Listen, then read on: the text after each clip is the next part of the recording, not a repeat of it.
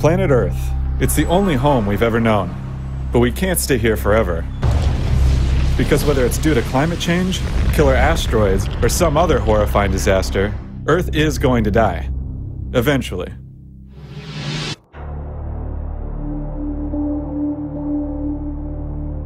Hey, how's it going? How's it going? Good. Let's see. Is that cool? Thank you. All right, thank you. We're at NASA's Ames Research Center, which is home to both NASA research facilities as well as a bunch of private space companies. It's kind of like the epicenter of the new commercial space industry, as well as a throwback to the early days of NASA's work. This unassuming office is home to Moon Express, a startup that hopes to be the first private company to land on and mine the moon. I believe that the first trillionaires will actually be generated by investments in space resources.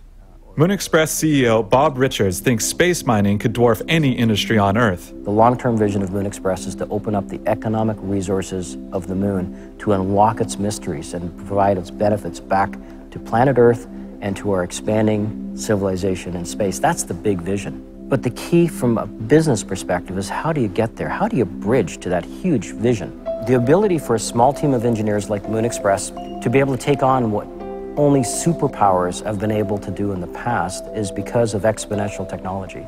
We're going from the mainframe era of space, which was large government centric, to the PC era. So you don't have to have massive amounts of hardware anymore. You can dematerialize that into software.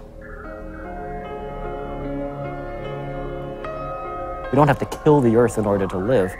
We can go to the moon where there's no biosphere, there's no life, but there's resources there. We're not going to be displacing any tall blue people that we know about. And it's a realm of opportunity for us to work together as a species to conquer a new frontier without conquering each other. The wonderful random circumstance we have as a species that we live on a world that has another world really close. And it's so cl- relatively close, it's not inconsistent to think of the journey to the moon today as like the journey to the Americas of only a few hundred years ago. It was a big challenge. People made a decision to really try to open up a new world.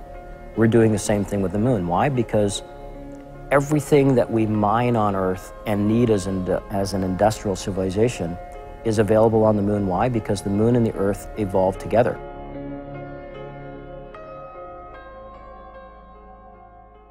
Both were bombarded by asteroids for billions of years in their early history.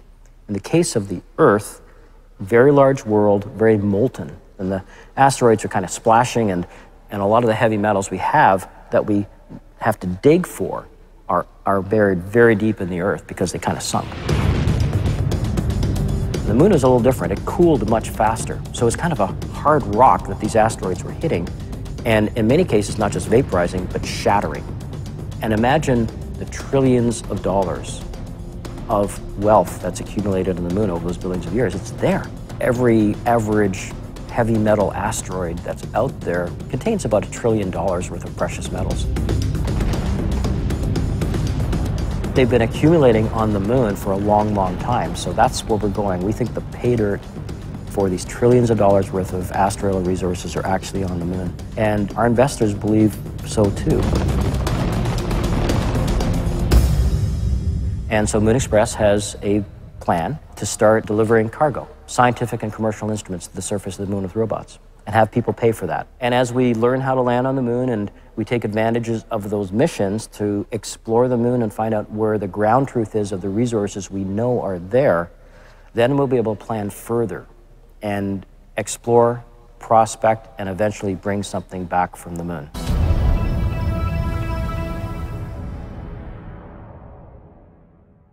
Five, four, three, two, one. Main engine ignition and liftoff of the Atlas V rocket with LRO and LCROSS, America's first step in a lasting return to the moon. In 2009, NASA launched the Lunar Reconnaissance Orbiter. One of its primary objectives was to find evidence of water on the moon's poles, which it did.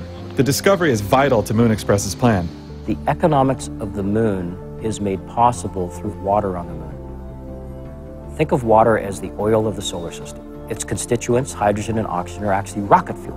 And only water gives you the opportunity to create the fuel necessary to bring those resources off the lunar surface.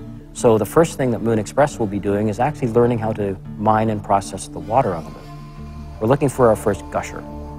And we know that that's likely going to come from the south pole of the moon where most of the water's been accumulating in ices.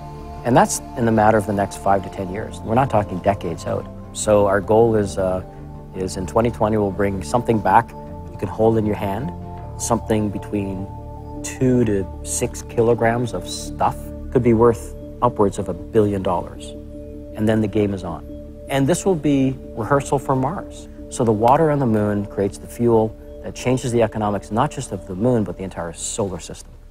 It's just a little component of a very large tapestry of the world of we humans becoming a multi world species. And this is absolutely essential for our ultimate survival.